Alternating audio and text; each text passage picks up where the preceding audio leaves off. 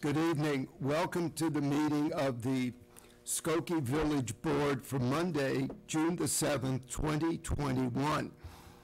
As you may have noticed, if you follow the village board meetings, uh, you will see that the board is meeting in person.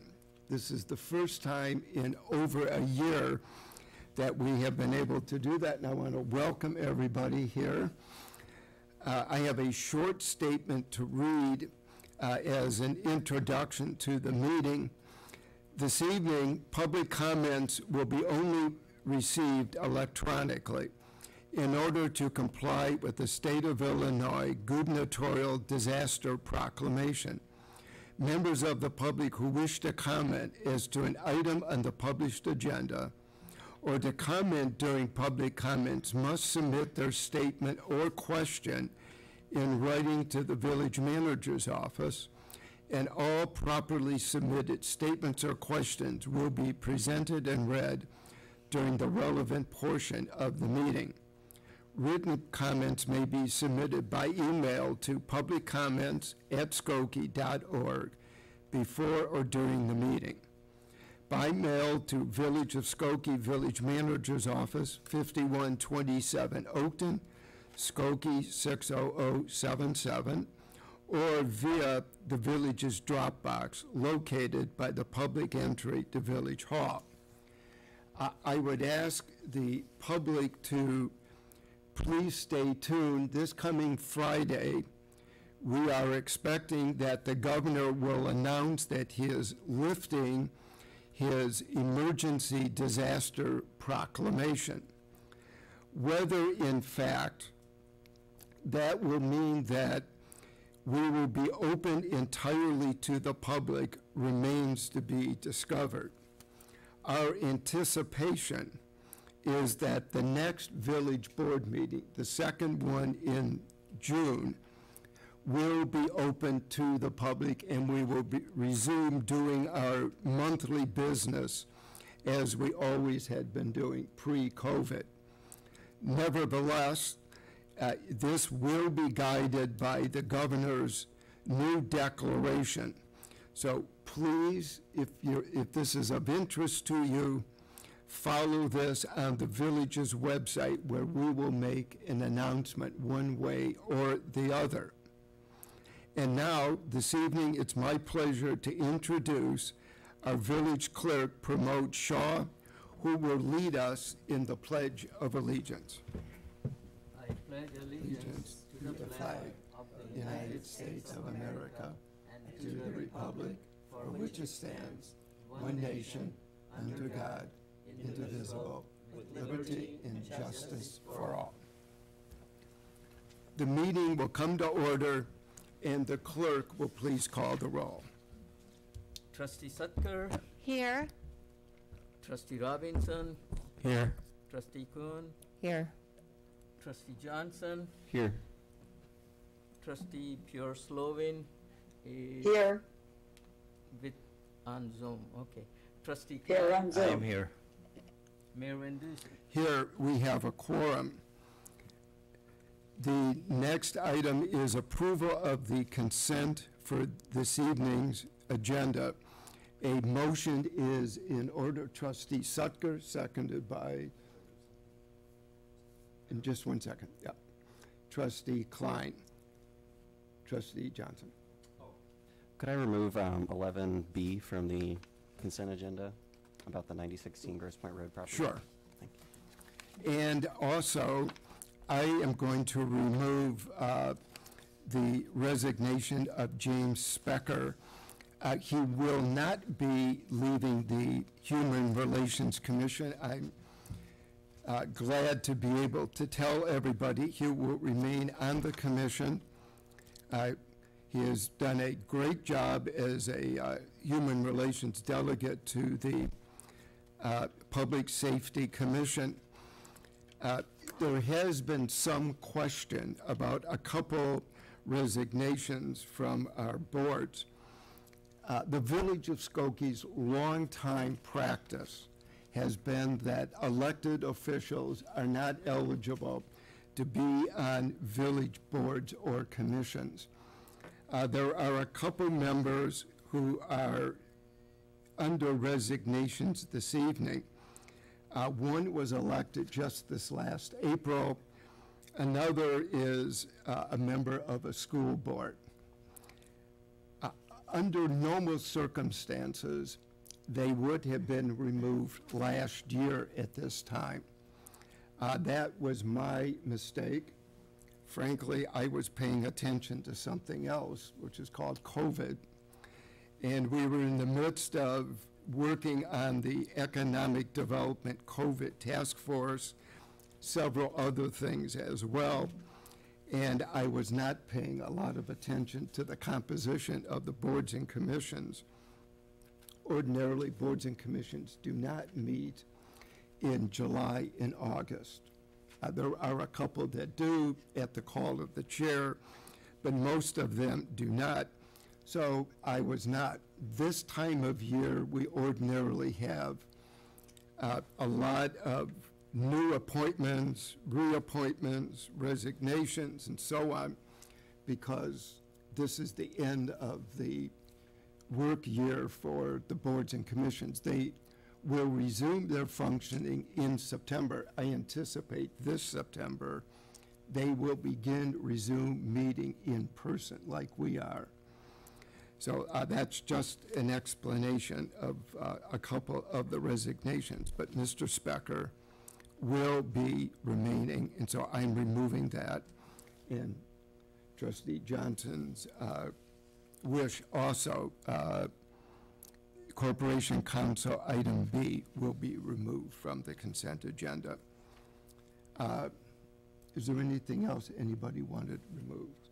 If not, uh, call the roll, please. Trustee Sutker, Aye. trustee Robinson, Aye. trustee Kuhn, Aye. trustee Johnson, Aye. trustee Pure Slovin, Aye. trustee Klein, Aye. Mayor Van Dusen. Aye, the motion passes. I would like to introduce uh, some members of uh, the boards and commissions which just have been approved. Uh, They are with us by Zoom this evening, and I would like to introduce them. Uh, Joe Meshek on the Appearance Commission. Joe? Harry Litberg. Harry, I see Harry there. Alma Lickett. Alma, she was scheduled to be with us. Talia Jabaria. Talia, there we are. Uh, Jim McVeigh, Human Relations. Kurt Hansen, EDC. Kurt. Megan Beminovich, EDC. Megan. And uh, Michael Delanoy, EDC as well. Thanks to all of you uh, for volunteering and giving us your time. Uh, You will be put to work, I promise you. Uh, As I mentioned, most of the commissions will not be meeting in uh, July and August, but will resume meeting in September. Uh, Some of you may have a couple meetings during the summer, but more than likely, you will not. Uh, We are grateful for the work that the commissions do. We look at the village as being something akin to a three-legged stool. We have our professional staff led by our village manager, John Lockerbie. We have our boards and commissions, which advise the village board on almost every subject that touches on the life of the village. And then we have the political body, which is all of us up here, the elected officials.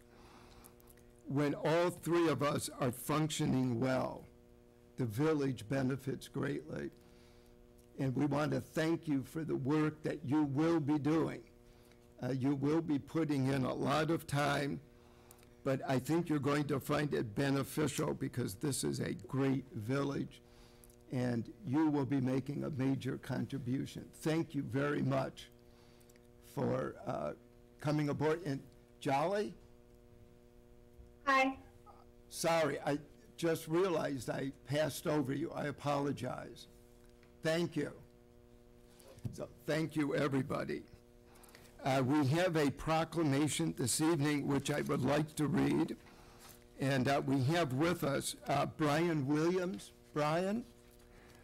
And from the library, Nancy Kim Phillips. Brian was is, is with Skokie United, which is helping to do the Juneteenth organizing along with the library. Whereas President Abraham Lincoln signed the Emancipation Proclamation on January 1st, 1863, ordering the freedom of all people enslaved in Confederate territory. And whereas on June 19, 1865, Union Major General Gordon Granger announced the end of the Civil War and the signing of the Emancipation Proclamation in Galveston, Texas, legally freeing the last of the Confederacy's enslaved people. And whereas Juneteenth, also known as Emancipation Day or Freedom Day, has been a tradition in the United States for more than 150 years, commemorating the Galveston announcement and celebrating the freedom of African Americans. And whereas this Juneteenth, the 100th anniversary of the Tulsa Massacre, the 100, the one year, excuse me, anniversary of George Floyd's death, and the violent deaths of too many black Americans, including Skokie resident Ricky Birdsong in 1999, compel us to acknowledge and reckon with the painful history and legacy of slavery and racial injustice in the United States. And whereas in 1961, the first African American family purchased a home in the village of Skokie, and their courage and perseverance, as well as the establishment of the Skokie Human Relations Commission in 1961, and the passage of the first Fair Housing Ordinance in 1968, paved the way for 5,000 black residents of African American and diverse ethnic cultures who currently call Skokie home. And whereas black leaders in education, government, business, faith communities, journalism, sports, and entertainment have enriched Skokie, Chicagoland, and the country. And whereas the first Juneteenth celebration in the village of Skokie will take place on June 18th to the 19th, 21, 2021, to both celebrate the presence and the contributions of black residents in our community and to recommit ourselves to the goal of a just society where all are fully free. Now therefore I, George Van Dusen, Mayor of the Village of Skokie, Illinois, do hereby declare June 18th through the 19th, 2021 as Juneteenth in the Village of Skokie and urge all residents to recognize the significance of this celebration in African American history and in the heritage of our nation and village.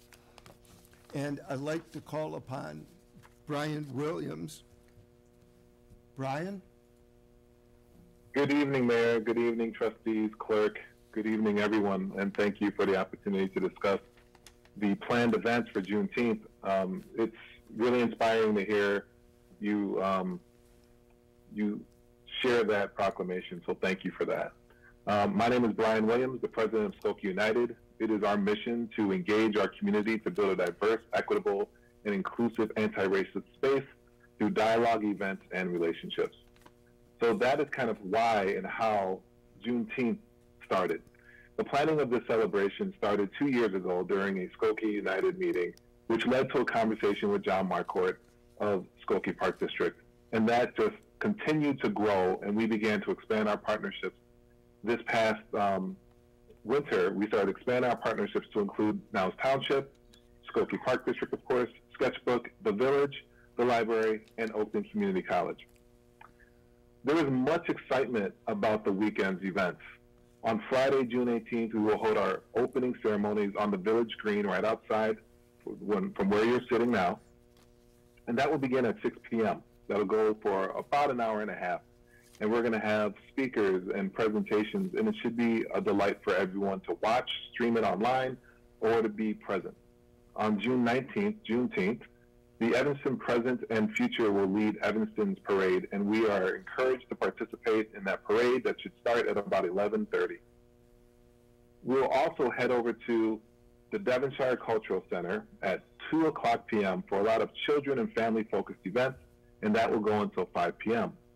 During that time, please bring a diaper diaper package or baby wipes or toiletries for the Niles Township Food Foundation drive.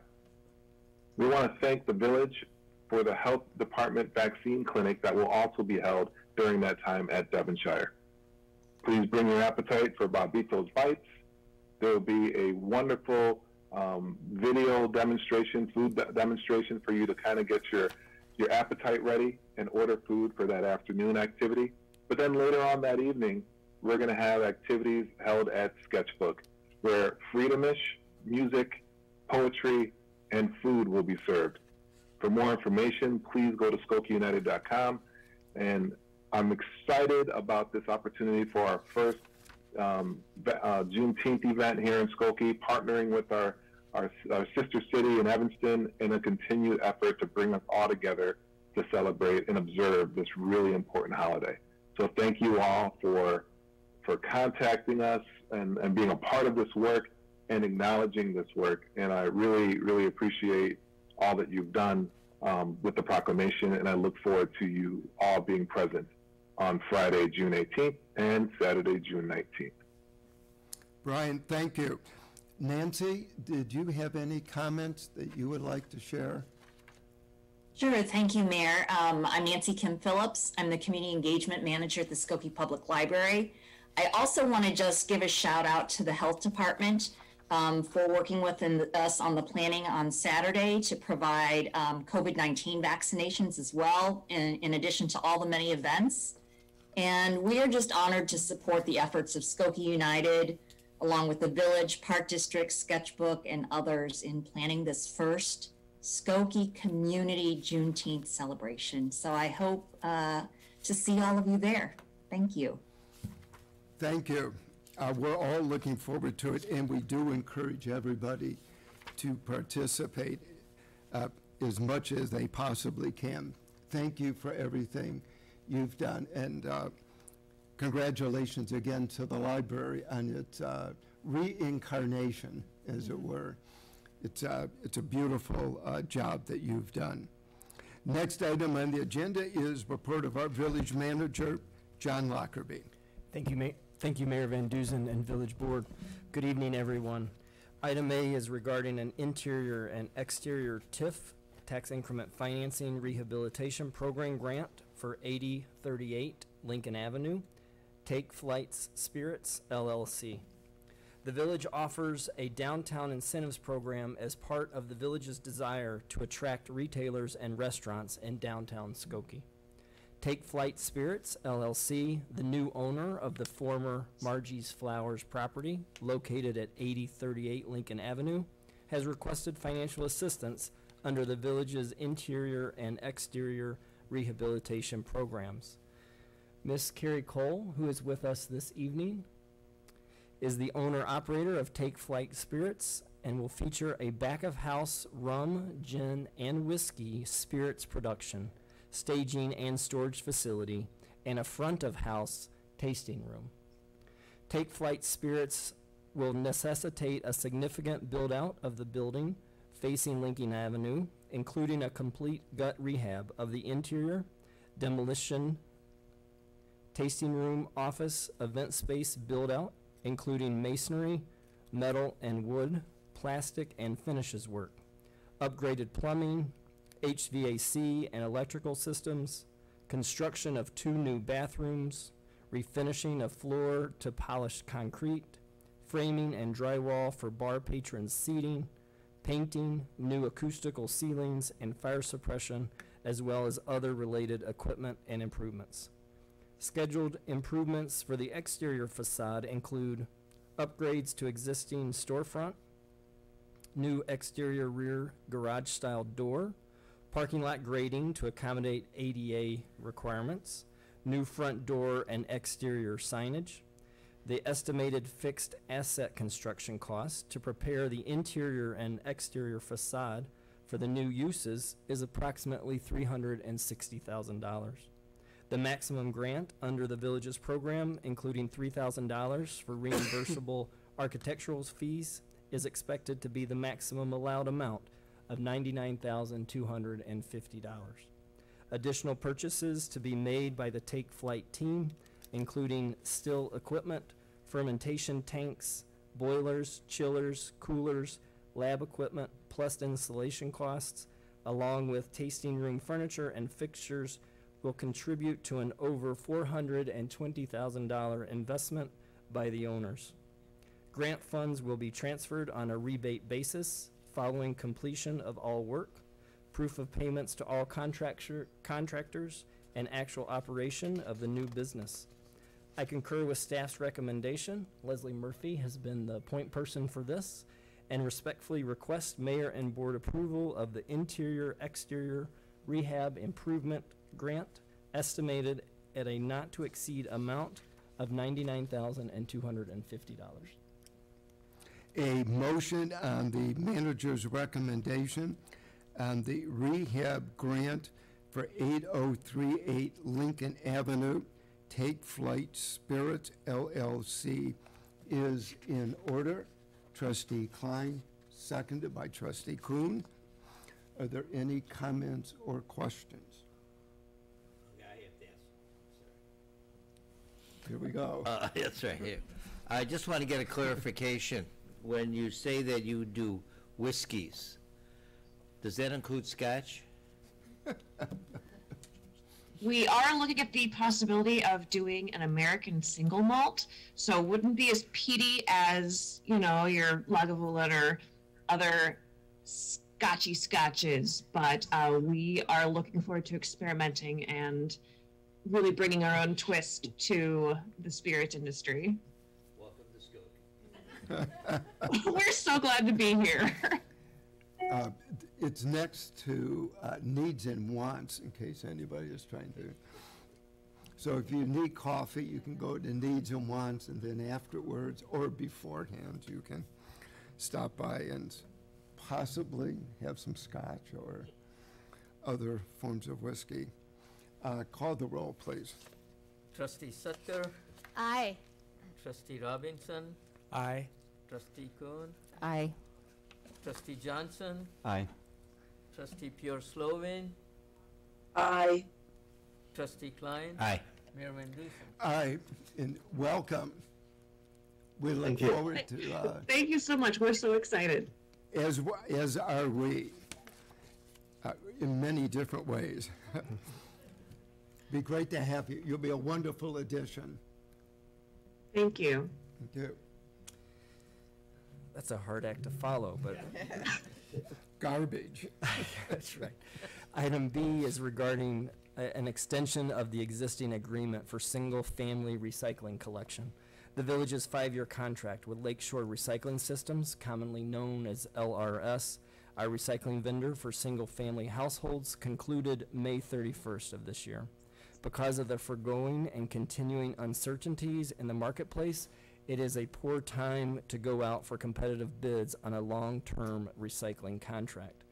As discussed with the village board in our recent budget hearings, the recycling marketplace has been in considerable turmoil for the last several years. This has been driven by changes in the recycling commodities market as an outgrowth of changes in the world, worldwide market for recyclables and increased processing costs. Disruption occurred by increasingly stringent standards for contamination, which limited the acceptance of materials overseas.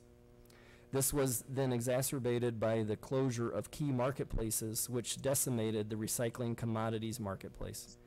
These circumstances were then further impacted by COVID.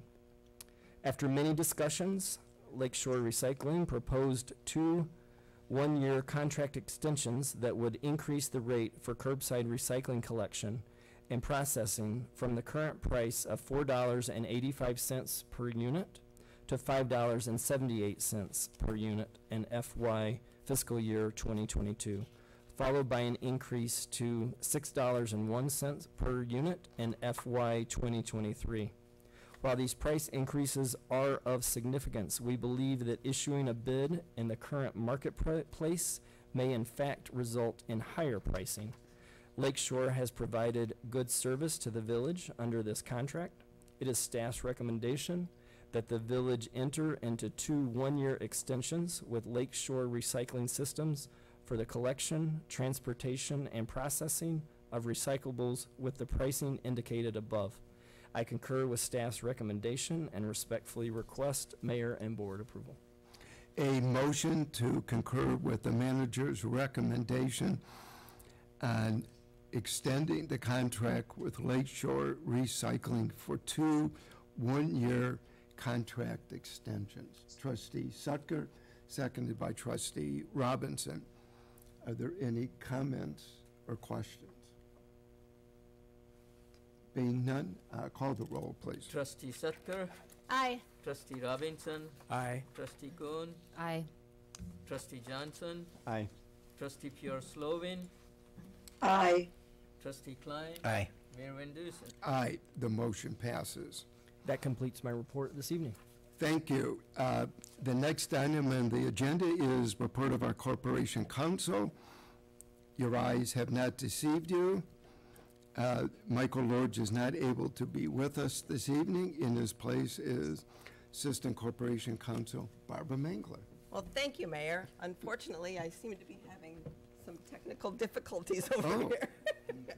We'll, we'll turn it on over here. Okay.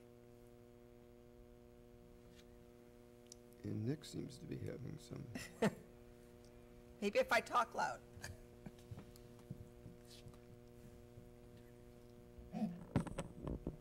Okay, that'll work. Barbara, you have passed the first test of the Oh.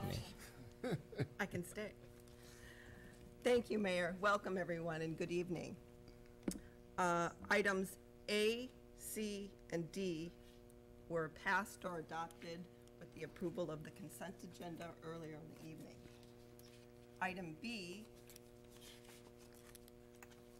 item B is an ordinance that will reclassify the zoning of 9008 to 9018 Gross Point Road from an M2 Light Industry District to a B2 Commercial District, commonly known as 9008 to 9018 Gross Point Road. The property is a single lot containing four non-conforming detached residences and has been zoned for industrial purposes since at least 1946. The property owner wishes to reclassify the zoning in order to construct a dental office, which is a permitted use in a B2 commercial district. The requested zoning change is consistent with the comprehensive plans, manufacturing, and service employment designation for the property. And it's up for second reading and adoption. a motion is in order. Trustee Klein, seconded by trustee Sutker. Trustee Johnson, did you, do Um, you have a comment, or? I had a couple concerns with this rezoning that I, I expressed when it came up for the first reading. One being that these are, are rental homes, so this is a rezoning that's, that's gonna displace renters, I presume.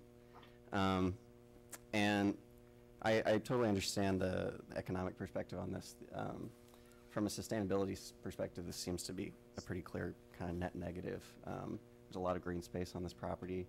There are dozens of, um, really beautiful trees that I'm assuming most will be removed. Um, and if this is shifting from residential to um, commercial, this is going to result in a, a much higher inten- energy intensive use of this space. Um, these are some of my some of my concerns. Is uh, yeah, go ahead. If I can just Yeah. address one thing, it's not shifting from residential Excuse me. Yeah. to commercial. It's shifting from industrial to commercial. Do we know? Already non, they are non-conforming uses on the property right now. Do we know how long these have been non-conforming residential units? Um, Well, since at least 1946. Okay. since this is kind of in effect, you know, it's, I know it's not technically a zoned residential, but since this is kind of in effect been a residential property for 75 years, um, yeah, that's kind of on my mind. Okay. John, did you, did you have any comments? No, I- think the, um, the comprehensive plan, um, has, has been discussed. Um, the, the marketplace is also at play here, um, with the, um, homes existing for a long time. It's zoned industrial and it's being, uh, requested to be rezoned, um, from a private marketplace perspective. Okay. Any other comments or questions? The property owner right now, how long has that property owner been there and owned that residential? I don't Use have the unit. Well, he's information, cons- maybe Matt. He's oh. consolidated the four properties. They were each, in, my understanding is they were each individually owned, and he has bought each one. Got it, okay. That's And what I then thought, okay. requested that they be consolidated, and under the comprehensive plan, he's requested the rezoning. And the tenants are aware of the Oh, potential yes, displacement? yes, Yeah. yes, this, yes. Okay, uh, Call the roll, please. Trustee Sutker, Aye. trustee Robinson, Aye. trustee Kuhn, Aye. trustee Johnson, Vote nay. trustee Pure Slovin, Aye. Trustee Klein, Aye. Mayor Van Dusen. Aye, the motion passes. Uh, Item E is a request for an executive session in accordance with paragraph 2C11 of the Illinois Open Meetings Act pertaining to the review and discussion of pending litigation. A motion on the request for an executive session is in order. Trustee Klein, seconded by trustee Sutker. Uh, There is no debating. Uh, A motion for an Open Meetings Act, uh, for an executive session under the Open Meetings Act. Uh, Call the roll, please. Trustee Sutker, Aye. trustee Robinson, Aye. trustee Kuhn, Aye. trustee Johnson, Aye. trustee Pure Slovin, Aye. trustee Klein, Aye. Mayor Van Dusen. Nay. Just, just like, oh, okay, there was, I'm, I'm actually voting aye. I just wanted to see if anybody was paying attention, that was all. And that concludes the Corporation Counsel's report. Thank you. Uh, The next item is report of our Plan Commission. Chairman of the commission, Paul Luke, with Matt Brandmeier.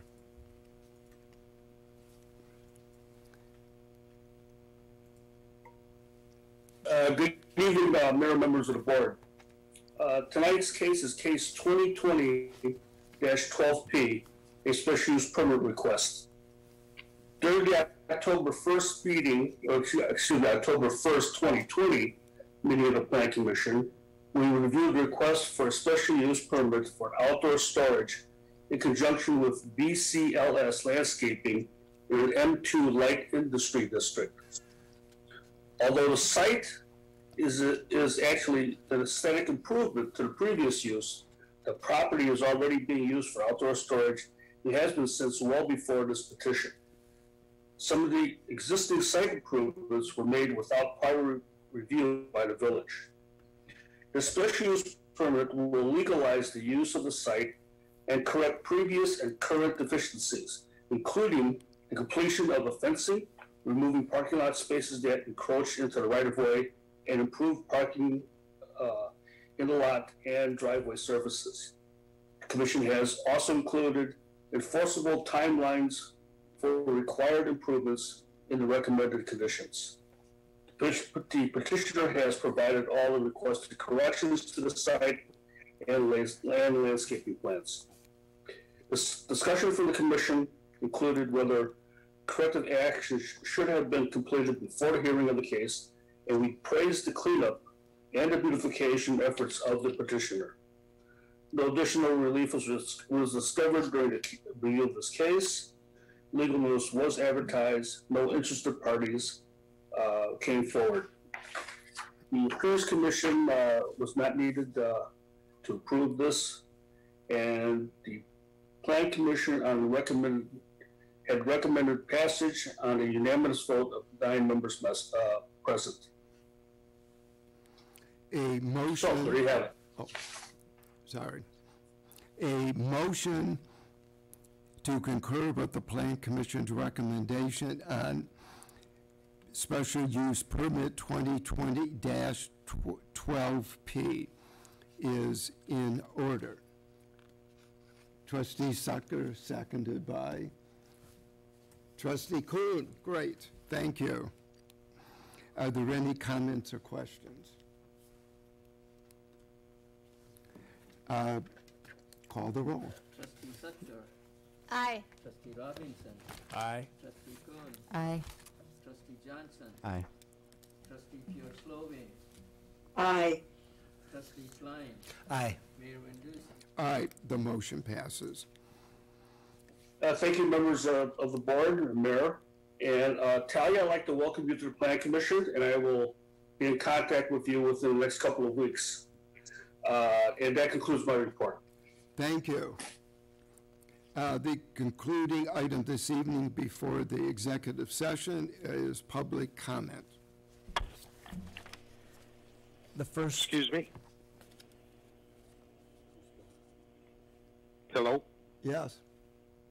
Hi, my name is William Sidlowski, the owner of BCLS. I have one yeah. comment and one question.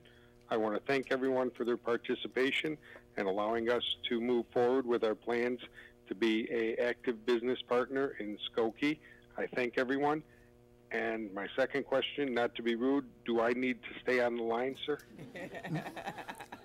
Uh, We, we thank you for the thank you, and uh, we look forward to the project. And the answer to the second comment was, no, you are excused for the evening.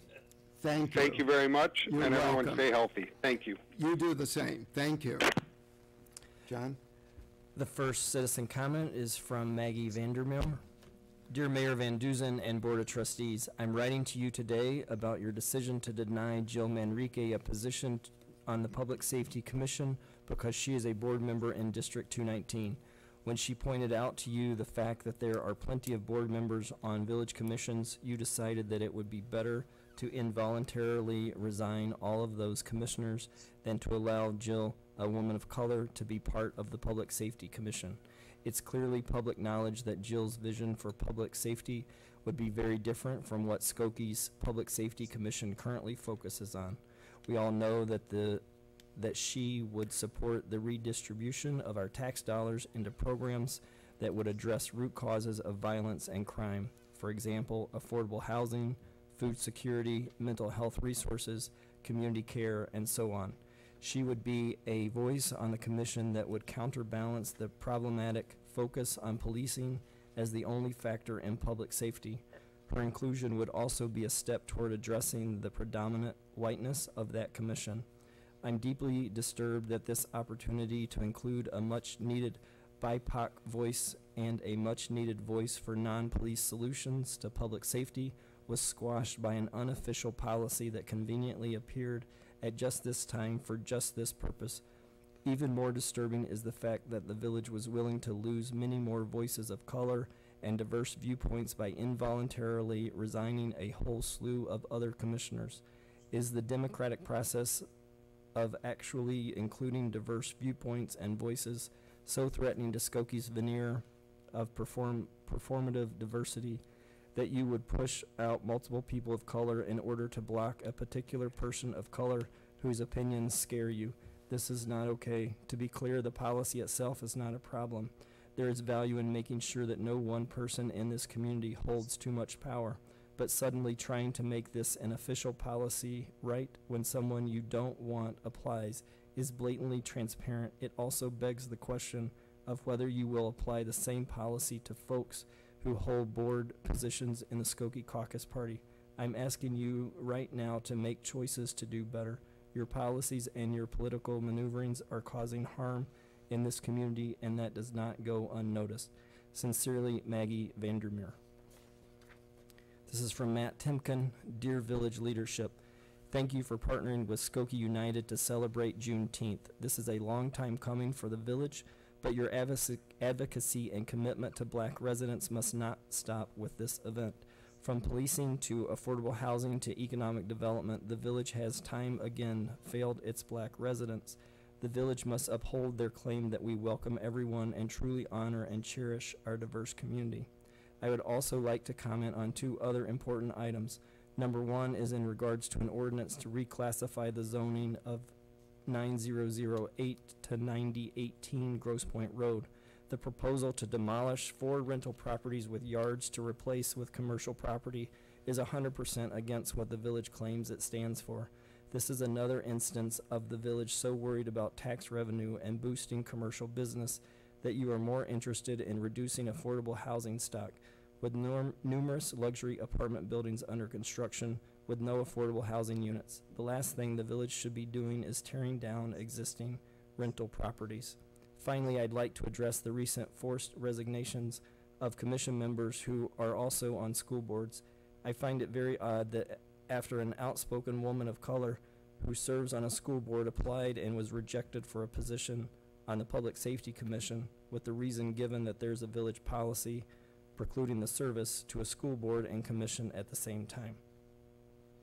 After the applicant challenged this decision, the village decided to enforce this unwritten, never enforced policy and force the resignation of several great community members who serve both on school boards and village commissions. The village should be ashamed of itself, and it either made up this rule in response to an applicant who is an outspoken social justice advocate who the village clearly did not want on the Public Safety Commission, or simply decided it was time to enforce an unwritten policy to block the candidacy. This is just another example of undemocratic practices of the mayor, village manager, and corporation counsel, who makes these decisions on commission membership and who is responsible for enforcing this so-called policy on board commission membership. If the village is committed to reimagining policing in Skokie, then they should be very determined to have a diverse public safety commission instead of one made up mostly of white men. The village certainly should not be in the business of blocking applicants because they are vocal about policing in America. Thank you for your time today, Matt Timken. This is from Elaine Vincent. I would like a public written reply to these questions. Is there any policy in our village code that prevents elected officials from being appointed to village boards and commissions? Where can this policy be found, and when was it enacted? Background, Jill Manrique, current District 219 board member, was recently denied a seat on the village's Public Safety Commission and told by the mayor's office that elected officials are not allowed to sit on village boards and commissions. When she pointed out that other elected school board members currently sit on boards and commissions, the mayor's office decided to abruptly and involuntarily resign these individuals from their appointed positions. Elaine Vincent, uh, 4757 Howard Street. This is from Eric Potters. Dear Mayor Van Dusen and distinguished trustees of the Village of Skokie, hello and good evening, everyone. I personally hope this email finds all of you who've known both myself personally and my family well and hope you and your families are well during these challenging times. I'd like to personally enlighten the entire community of the Village of Skokie and beyond of some shortcomings both myself and my family experienced at the business licensed under Bridgestone Corporation's Firestone Service Center named Firestone Complete Auto Care located at 8801 Skokie Boulevard in Skokie, Illinois, on the northeast corner on Skokie Boulevard at Dempster on January 30th, 2021. On the evening in question, with a witness present, our vehicle was tampered with in many fashions, and this was taken directly to the top, to their president and CEO himself, which was then handed down to their claims team manager out of their corporate office in Nashville, Tennessee through the exposure of the three card non communication Monty game between their district manager named Brandon, who did once call me via his personal mobile phone to discuss this matter, as well as their regional manager named Brandon, who altogether avoided any communication, as well as their social media contact, all besides CFNA Bank's fraud division specialists, name omitted, we've come to the conclusion that this is not only happening in Skokie, but across the nation. Please reference the following link to an investigation undertaken by the State of California Department of Consumer Affairs Bureau of Automotive Repairs Chief in 2015. Their corporation did, did try to make things right from the get-go in offering to pay for a tow, which we utilized our AAA membership at no expense to anyone. For the vehicle to be diagnosed by ASE, ASE certified mechanics at a GM dealership in Wheeling to the tune of three hundred and twenty dollars for two separate diagnostic tests that still haven't remedied the fact that our vehicle was tampered with the evening in question and then jumped by their technician in their parking lot, which fried our entire electrical system, including our ECM PCM, as well as our Viper alarm system starter, which was then removed per the recommendation of ASE certified mechanics at a GM dealership in Bridgman, Michigan, while I was under a two-week quarantine to see the President of the United States of America at Pfizer Labs in Kalamazoo, Michigan, which I was sadly unable to attend due to these serious shortcomings. Our last vehicle exploded on the Edens Expressway and was towed off of the Foster Avenue exit. We've now connected the dots and thus dotted our i's and crossed our t's with that situation and the events that occurred the evening of January 30th, 2021 at the Bridgestone Corporation Firestone Service Center located in Skokie. As we have forthright and honest with all our communications with Bridgestone Corporation Firestone and their banking institution, CFNA Bank, through their numerous incentives and promotions to gain customers' business and thus trust in servicing their vehicles, our last email communication received from their claims team manager stated after our over four months since this has happened. This is what he wrote. Uh, Hello and good morning. I personally went back to Stasic Chevrolet this morning at 7 a.m. and spoke with Tim. Due to my own business obligations today and tomorrow, we were unable to leave the car for the day. There are still two codes present, PO420 and PO443, which appear to be unrelated to the incident that occurred on January 30th, 2021, and subsequently for the next three plus months where we were afraid to drive the vehicle. It appears, as I said in our initial conversation, that these codes are unrelated. With that, I'd like to discuss closing this out by the end of the business day today, June 4, 2021, with all of the troubles and expenses we endured during the time the car was inoperable. Please call at your convenience as I'll be going out of town later this evening or early in the morning to Central Illinois on business. Phone is the best way unless you want to put everything in writing. If there's no communication or remedy to this situation by the end of the day today, I'll be forced to make all this known to the mayor directly and the entire community at this Monday's upcoming Board of Trustees meeting in Skokie. Looking forward to speaking with you sometime before 5 p.m. Regards, Eric. And then, uh, thank you for your time and consideration in reading this in the public record and as stated above in our last communication offering this corporation an olive branch, which they are now denying any kind of liability, i.e. to get out of this situation. We know there is more than us in dealing with this licensed business in the village of Skokie and look forward to enjoining with more people who have class. Please respond to me as a representative of my family with any and all action your village will be taking with this matter, and as I am now personally taking you up on your offer when we first met, when you said, if you need anything, let me know. Well, Mr. Mayor, this time has come. Respectfully, Eric M. Potters, Morton Grove, Illinois. And we'll make sure the appropriate staff member follows up on that. And that concludes the uh, public comments. Thank you.